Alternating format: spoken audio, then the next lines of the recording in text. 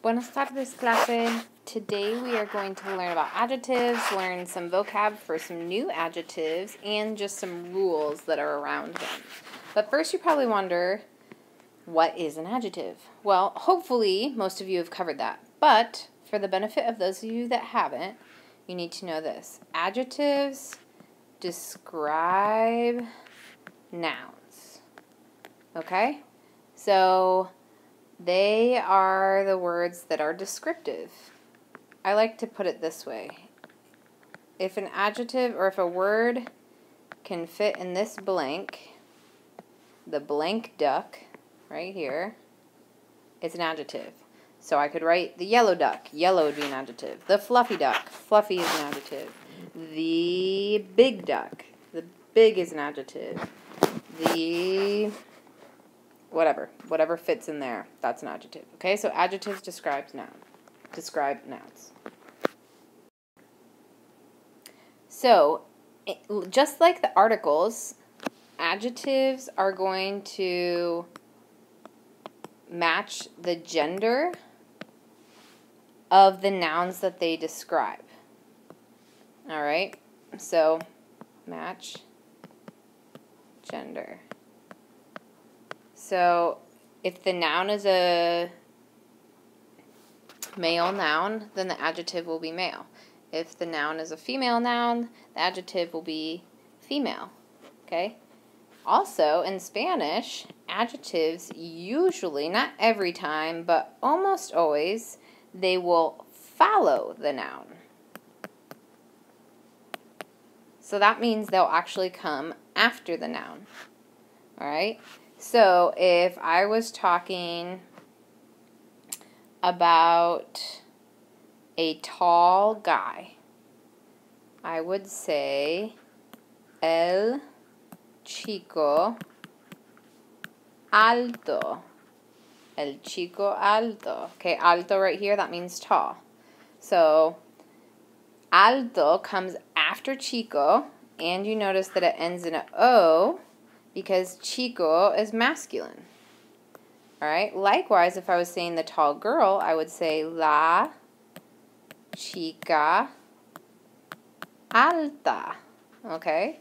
So again, the adjective alta is going to come after the noun. And then it's going to end in an A because it is feminine, just like the noun. But as you know, not every single adjective is going to be ending in O or A. So let me teach you some of the extra rules. Okay, we're still talking about adjectives here. Let's look at a few of the extra rules. Okay. If an adjective ends with an E, if it ends with an E, then it will match both genders. Okay, so for example, the word for patient is paciente. So if I write el chico paciente, oops, let me erase that so I can have some better handwriting here. Be a good example for you guys. All right, el chico paciente, that means the patient boy. Okay? As you can see, paciente ends with an E, so we're just going to leave it like that. If I wanted to describe a patient girl, I would say la chica paciente. Again, so paciente ends in an E, we just leave it that way. So if the adjective ends with an E, it will match both genders. You don't have to do anything with it. Another rule about adjectives is if it ends with a consonant, if it ends with a consonant, then it will also match both genders. Now, this is not very common. You don't often see adjectives that end in a consonant. In fact, I'm trying to, I'm going to look really quickly at your vocab sheet and see if there's any that I have.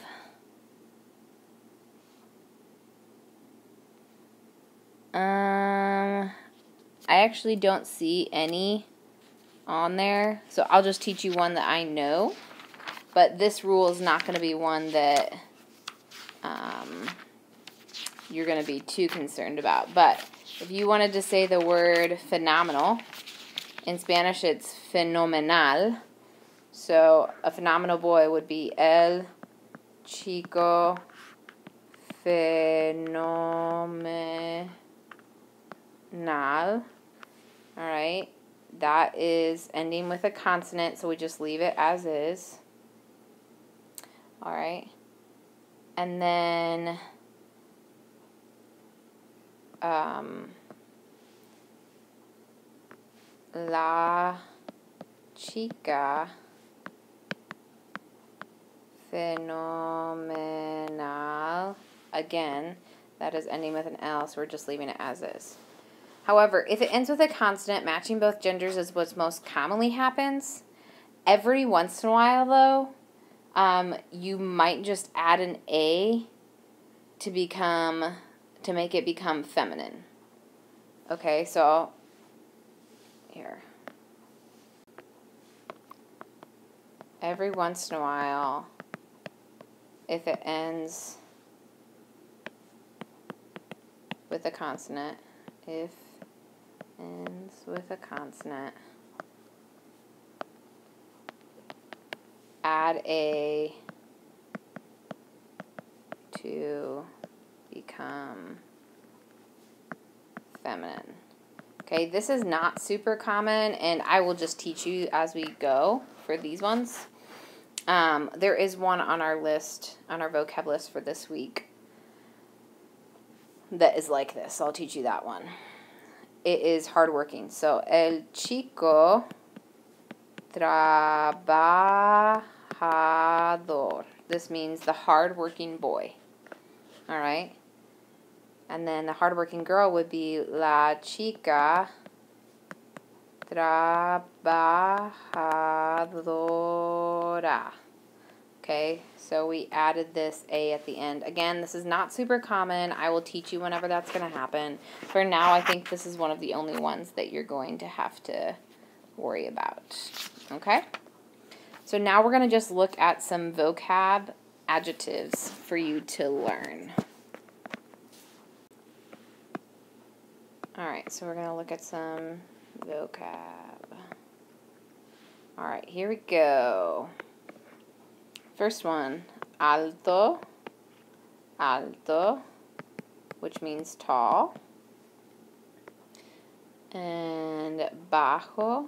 Oh, and you know what? I'm actually going to write it like this so that you know if I write this second thing over here, that means you can convert it to an A for the feminine part.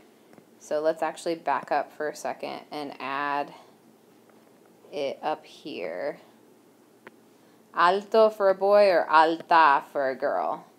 There we go. So alto means tall and bajo means short. Then we have bonito or bonita, which means pretty. And then castaño or castaña for someone that has brown hair. So it's like a brunette. Okay. And then corto or corta, which would be short, but specifically in length. All right, so this short up here, bajo, is in height. So if someone is short in their height, you would say bajo. If someone is short in their, if, if something is short in length, you would say corto. So let's go ahead and review each of these. Alto, bajo, bonito, castaño, corto. We're going to continue with our vocab here. Okay, del, oops, delgado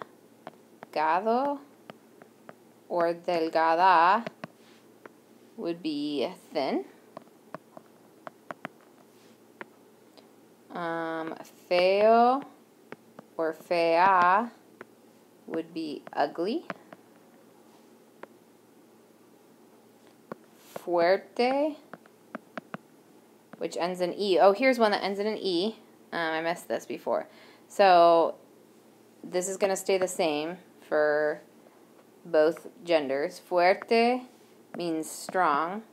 So el chico fuerte or la chica fuerte stays the same. Okay. Gordo or gorda is fat. Grande stays the same for both genders, and that means big or large. Okay. And then guapo or guapa means good looking.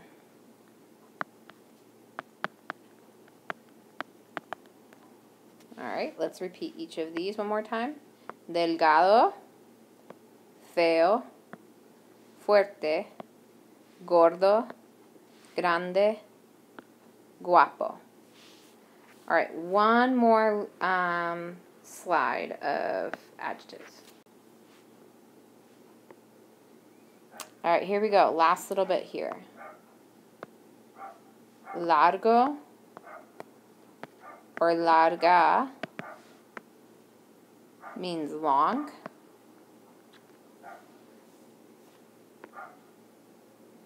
Moreno or morena means having it's it's describing someone that has both dark hair and dark skin. Is moreno. Okay. Pelirrojo.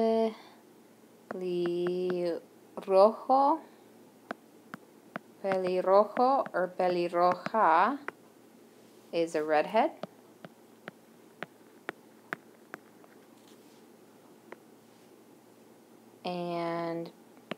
Pequeño with the ñ, can't forget that tilde, or pequeña means small. And then last but not least, we have rubio or rubia would be a blonde, a person that is blonde. All right, let's repeat each of these. Largo, moreno, pelirrojo, pequeño, rubio. All right, good job. I, I think that's where we're going to stop for today. So make sure you memorize those rules on adjectives and come to class prepared to use all of these words. Hasta luego.